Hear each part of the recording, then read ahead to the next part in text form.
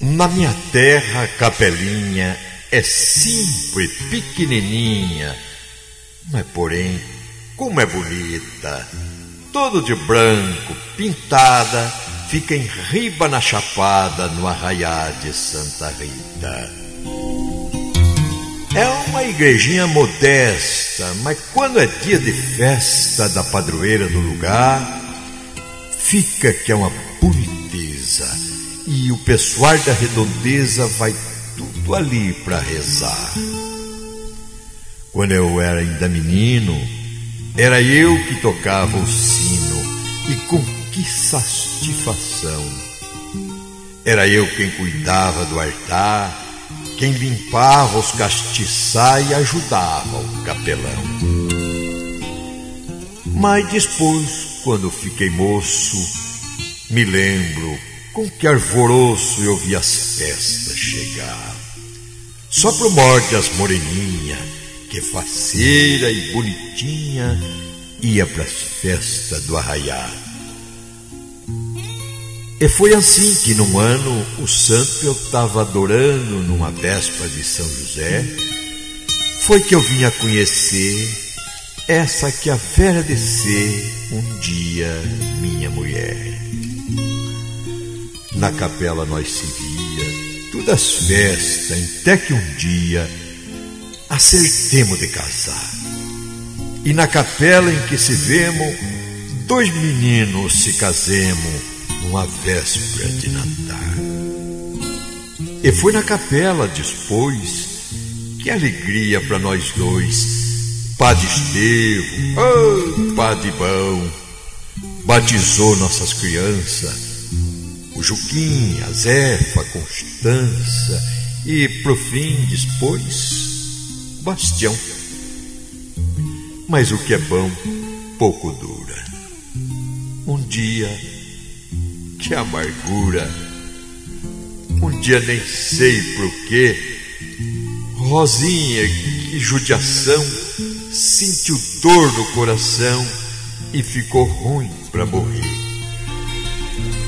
Morri lá na capela, acendi todas as velas, caí de joelho a rezar. Nos pés de Santa Rita, desesperado, arma frita, pedi, pedi pra Rosa salvar. Pedi, roguei, fiz promessa de fazer uma festa dessa que nem é bom se falar. De eu fazer com meu dinheiro o que nunca outro festeiro fez nas festas do arraial. Mas tinha, tinha que acontecer. De nada adiantou. Pronto, foi-se embora o meu amor. Foi bonita como em vida tudo de roxo vestida, tudo coberta de flor. E foi lá na capelinha, lá onde eu conheci Rosinha, lá onde garremos a se amar.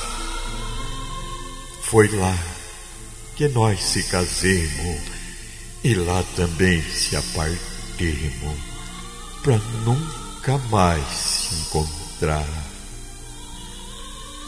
Eu fiquei assim, como um louco. E palavra de caboclo, até perdi minha fé.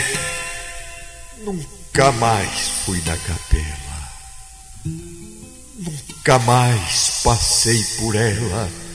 Nunca mais lá pus meus pés. Mas lá de casa, todo dia, eu escuto a Ave Maria na capelinha tocar. E escutando a voz do sino que eu toquei quando menino, sem querer, carro a lembrar. Lembrar de tudo que ali se passou, das alegrias, das dor que já tá longe para trás, mas está sempre presente. é que o coração da gente não se esquece. Nunca mais, nunca mais, nunca mais.